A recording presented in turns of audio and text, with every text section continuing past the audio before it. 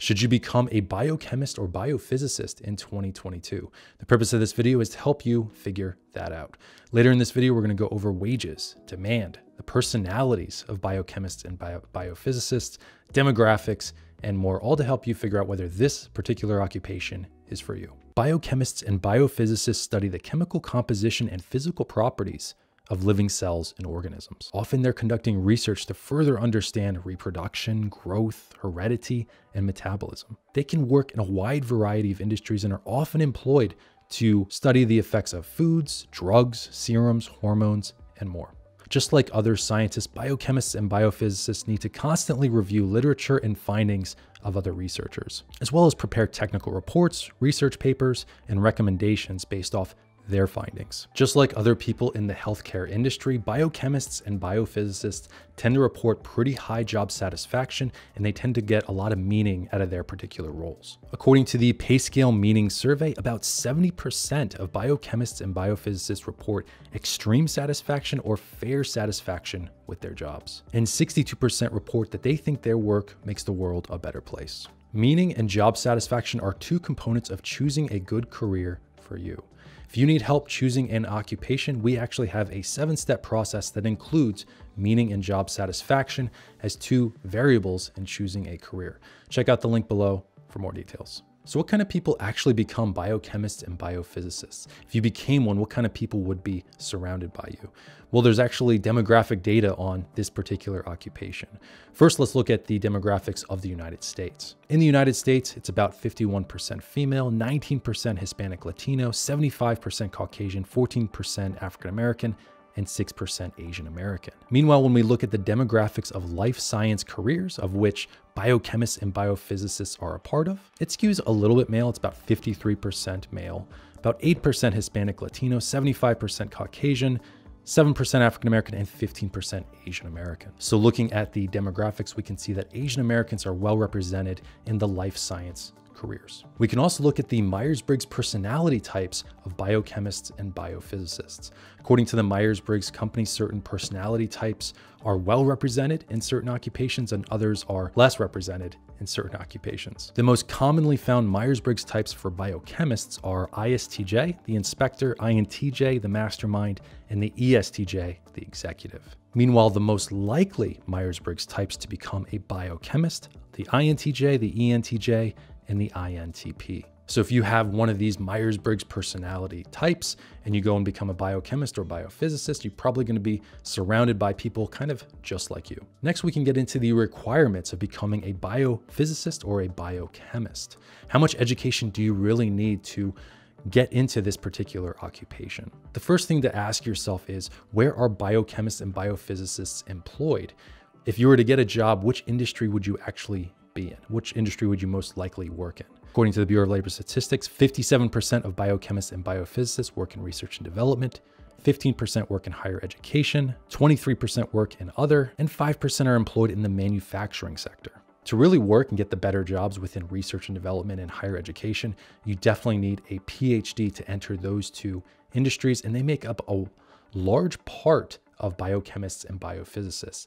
So for this particular occupation, you do tend to need a doctoral degree to get those better jobs. But then we can also look at, and this is recent data from Bureau of Labor Statistics, the education breakdown of employed biochemists and biophysicists. You would actually think about half of biochemists and biophysicists would have a PhD, but they actually found that about a quarter did. About 23% of employed biochemists and biophysicists had a PhD, 46% had a bachelor's degree, and 31% in the sample had a master's degree. So there are employment opportunities for biochemists and biophysicists that just have a bachelor's degree or even just a master's degree. But to really do research and development or to work in a college or university, a lot of those people are on track to get a doctoral degree or a PhD, but this just shows you that you can definitely enter the occupation potentially with just a bachelor's degree. Next up, we can look at wages. What kind of wages can biochemists and biophysicists expect? In 2021, the average base salary for a biochemist or biophysicist was $113,460. When you compare them to similar occupations in the sciences, biochemists and biophysicists are only really out earned by physicists who earn around $152,000 per year just as a base salary. Biochemists and biophysicists tend to out earn biomedical engineers, chemists, medical scientists, microbiologists, and zoologists. But to be perfectly fair, uh, biochemists and biophysicists are much more likely to have a PhD over, say, a microbiologist. We can also look at wages over time. In 2016, the average base salary for people in this occupation was $94,340. This rose to $113,460 in 2021. So between 2020 and 2021, there was almost a $9,000 wage growth or an 8% gain in the average wage but this is partially due to the fact that wages slightly dipped between 2019 and 2020. Biochemists and biophysicists can earn even more if they live in some very specific places in the United States. No surprise here, but the number one highest paying place for biochemists and biophysicists, and this is probably because of Harvard and MIT and other highly prestigious organizations is the Boston, Massachusetts metro area, where the average base salary for a biochemist or biophysicist is around $135,000 per year. Number two is kind of interesting. I wouldn't think this would be the second highest place in the country, but it's actually Portland, Oregon, where the average base salary is around $133,000 per year. So, two places where you can actually earn a lot more than other parts of the country. Next up, we have demand. How much demand right now is there for biochemists and biophysicists in 2022? If you were to go get a PhD in this particular field, will you immediately have a job lined up or will you struggle to get that first, second, or even third job? First thing to understand is this is a, it's a moderate sized occupation. There's about 35,000 employed biochemists and biophysicists in the United States. So this is a bigger occupation, a bigger workforce than say biomedical engineering, microbiology, physics, and zoology, but there are more employed chemists and medical scientists. We can also look at the government forecast for people in this occupation.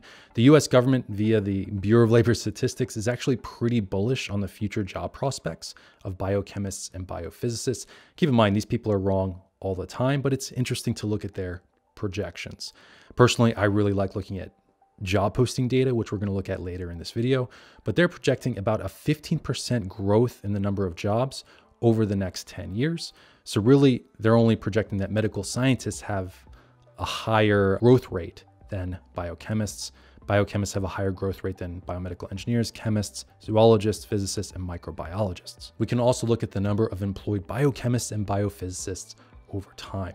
In 2016, there were 29,200 employed biochemists and biophysicists. This rose to 35,050 in 2021. So between 2016 and 2021, there's been a gain of around 6,000 employed biochemists and biophysicists. But I think one of the best things to look at over government projections, over the past growth rate, is job postings. How many job postings are there for you in your particular occupation?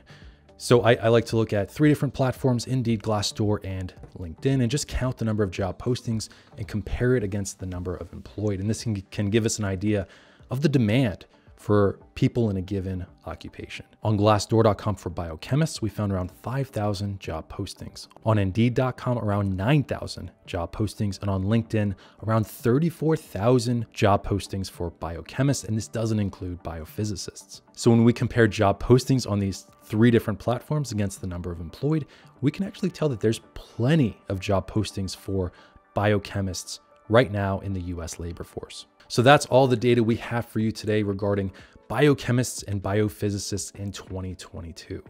What did you think of the video? Let, let us know down in the comments below. Especially let us know if you're a biochemist or a biophysicist. Let us know what you enjoy and what you dislike about this particular occupation. We also have a free personality assessment, our favorite personality assessment down in the comments below. You can take it for free. Just click the link below and there's also our flagship course, Choose the Right Career, if you need help choosing an occupation. Thanks so much for watching, and we will see you in the next video.